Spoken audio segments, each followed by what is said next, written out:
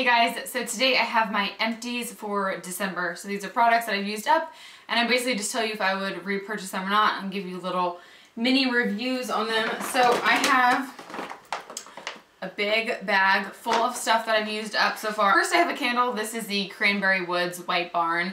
I love this candle. It's really fresh and crisp and it's not overwhelming. It was just really good. So I would for sure buy that again. Next I have the Sibu Beauty Sea Buckthorn Balancing Facial Cleanser. This is an all natural cleanser. It's really good for my skin. It just keeps it nice and clear. It's really gentle. It has really pure ingredients and I love it. This was in my favorites for 2013 for skincare. I have the Joico K-Pak Color Therapy Conditioner. I've had this for two years. I have been so over this conditioner for a long time. There's still like this much left, but I can't even use it anymore. I'm over the scent.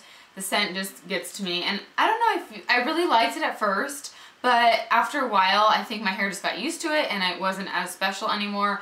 And it's definitely not a natural conditioner. I got this before I switched a lot of my products over, so I wouldn't be repurchasing this. It worked good at first, but no, I wouldn't buy this again. Next I have the Paula's Choice Skin Balance Skin Perfecting 2% BHA Liquid. This again was in my skincare favorites for the year. It's really good at keeping your skin clear. It helps improve the tone and texture of your skin, gets rid of redness, shrinks your pores, a lot of good things. Next I have this shower gel. This is the Andalou Naturals Mandarin Vanilla Shower Gel. And I know a lot of people really love this product, but I couldn't stand it. Me and Andrew both. It was just so sickening sweet. It's a 50-50 kind of scent, but way too sweet for me. I just didn't, not a fan. So that's going bye-bye. I'm not going to be buying that again. I went through the Urban, Urban Decay All Nighter Makeup Setting Spray, the little trial size one. This went by really fast. I think I would just, from here on out, buy the full size. I actually got the Chill Makeup Setting Spray, the big one, for Christmas. So let me know if you want to see a Christmas sort of haul because I got some new makeup products. But I also have some gift cards, so I wanted to get some new things before I show you, you know, everything. So let me know if you'd want to see a haul on that sort of thing. I have a lot of mascaras that I went through. I need to get a new mascara ASAP. So I have the L'Oreal Voluminous Carbon Black and the L'Oreal Voluminous Full Definition. I actually prefer the full definition now after going back and forth between these two. So I would go with the, the all gold tube if you are kind of debating. I also went through the Lash Blast Volume by CoverGirl, which I used to like, but I don't like it anymore because I don't like how thick it is. It makes it a little hard, and I don't like this part. I know it's kind of strange, but for some reason, it's hard to grip when you're applying your mascara. I also went through another Revlon Grow Luscious, and I liked all of these mascaras at one time, but right now I love the combo I'm using. I'm using the Korres, the Korres Volcanic Volume Mascara and the Mary Kay Lash Love. Those two together make my lashes just so thick and long. So those are kind of my go-tos right now. So these I will take a break from for a little bit. I went through this Giovanni.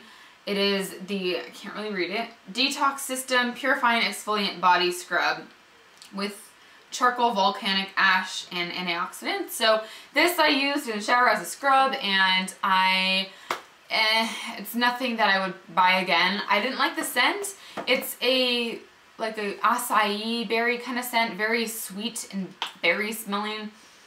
I just wasn't a fan and I ended up using this super duper fast. So if you have a really good body scrub that you use, let me know in the comments because I'm always looking for a new one and I don't have one right now. So I want to buy this again. It worked fine. It felt nice on the skin, but it just, you know, went too fast. I went through one of these Honeybee Gardens nail polish removers.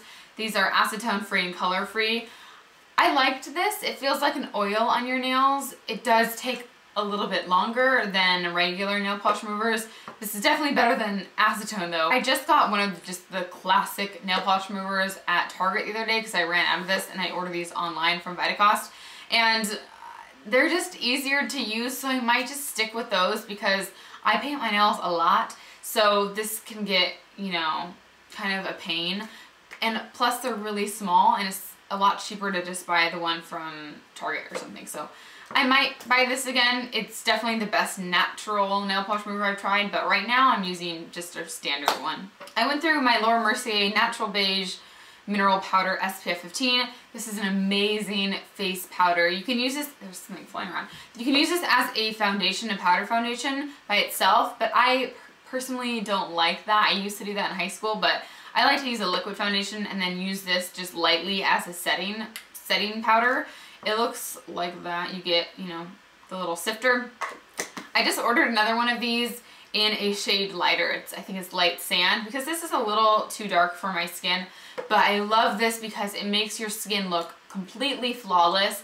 It covers really nicely. It just gives you a perfect, it almost gives you a dewy look. It's not super shiny or anything, but just just beautiful. So highly suggest this if you guys want a face powder. It's so good. I went, oh, this I didn't go through. I just, I have to get rid of it. It's the Sun Coat All Natural Nail Polish Remover Gel. So basically you're supposed to put this on your nail on your nails and it leave it on there and then just wipe it off and it's supposed to take off your nail polish.